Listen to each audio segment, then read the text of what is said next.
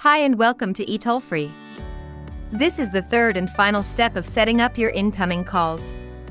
In this video I will walk you through how to add a DID and routing setup in ViCiDial phone system.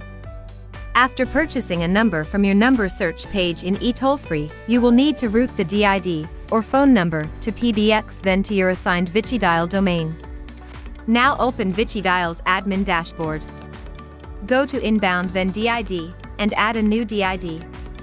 Under DID extension add the 10-digit number or phone number you just purchased. Add a DID or phone number description. You can leave admin user group to default then click submit. Now you should be able to see the other settings for your DID routing. Go to DID route this the type of route you want to set up for your DID. You can click the circle with question mark for the definition of each options from this drop down. In the meantime, we will set this to in-group. Now go to in-group ID and select the in-group we just created for incoming calls. Then, in-group call handle method to CID lookup which means ViCiDial will look up for any previously saved information from the caller in the entire system.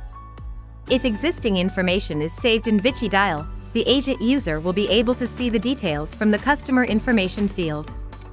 However, if the incoming call is a phone number that is not in the phone system, then the user agent will only see the phone number in the customer information field, and the rest will be blank.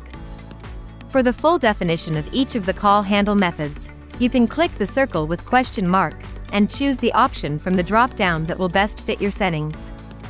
Under Server IP, choose your server IP address from the drop-down, then click Submit. You are ready to make a test call to your phone number. For any other eDialer concerns, feel free to go to our website, www.etollfree.net, and click the chat support icon, located at the bottom right of the web page.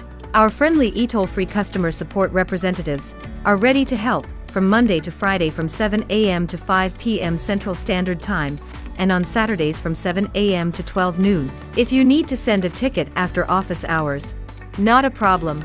Email us at support at etollfree.net, and someone from eToll Free Support will reach out to you as soon as possible.